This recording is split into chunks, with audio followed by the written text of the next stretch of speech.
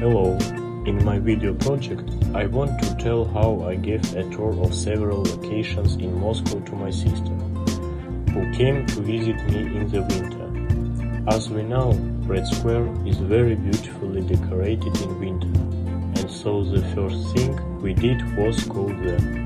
We walked around took pictures at different locations, and then sat off on a bench and admired the beauty to the music that was played on the street.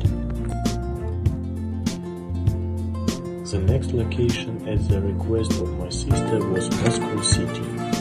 First, we visited several corners of Moscow City from which the complex opened from different sides.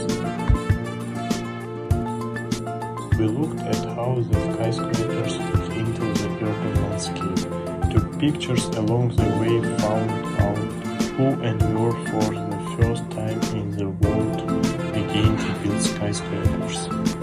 Next, we had a walking tour of the business complex.